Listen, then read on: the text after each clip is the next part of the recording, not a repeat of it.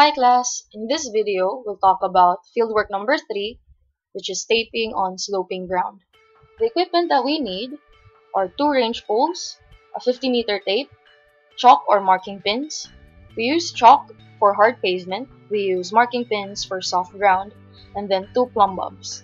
If you've noticed, they are the same with your fieldwork number 2 because they're both just taping or measuring distance between two points. The first step here is to identify points A and B and then have two people holding range poles at those points. So we have A and B. This helps ensure that the measurements are along a straight path. Next, we place a rear tape man directly at A, align the zero mark of the tape above A using a plumb bob. And then the front tape man holds the other side of the tape and pulls it taut. So it's the opposite from your previous fieldwork. In fieldwork 2, the front tape man holds the zero mark.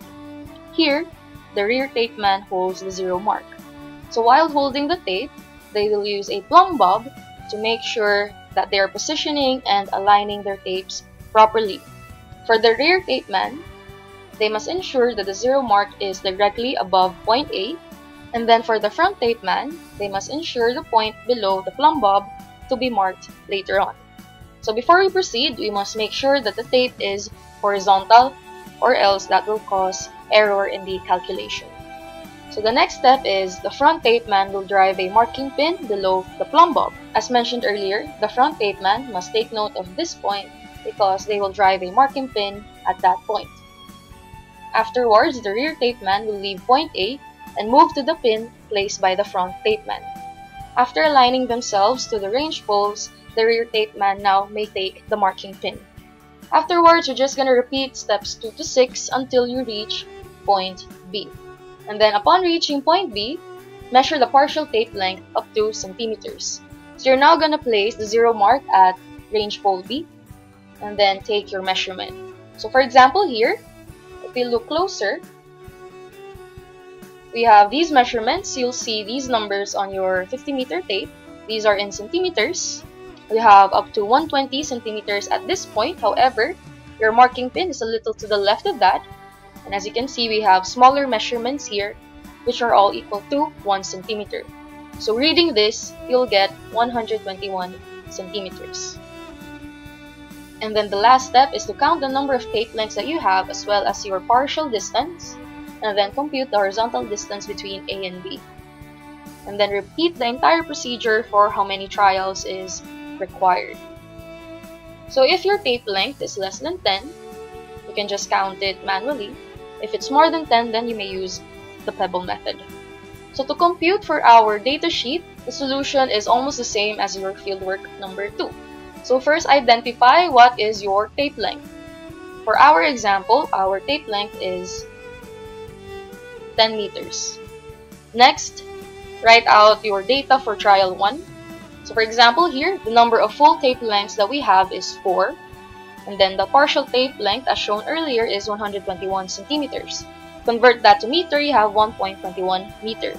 So to get the total length between your two points, we're going to multiply the number of tape length, which is 4, by the measure of that tape length, which is 10, and then add to it your partial tape length, which is 1.21 meters. Solving for that, you'll get 41.21 meters. And then do the same thing for trial 2. You'll get 41.15 meters and then the mean distance is just the average of those two data and then you'll get 41.18. So now that we've computed for this data, fill out your preliminary data sheet. This is your sample preliminary data sheet. So you're just going to fill out this table as shown here. Okay. For our example, we have trial 1 for line AB, that's up the slope. So full tape length is 4, partial is 1.21, and then computing for total distance is 41.21. And then for trial 2, it's BA, so it's down the slope. Once again, number of full tape length is 4, partial now is 1.15, total distance is 41.15, and then mean distance is just the average of the two. And then include the measurement of your tape length. Again, for example, it's 10 meters. So for the class, I will upload sample data to be used in your computation for fieldwork number 3. Use that data to complete this table, include your sample computation and then the sketch, and then submit that as your preliminary data sheet to me. So that's it for fieldwork number 3. In the next video, we'll talk about fieldwork number 4.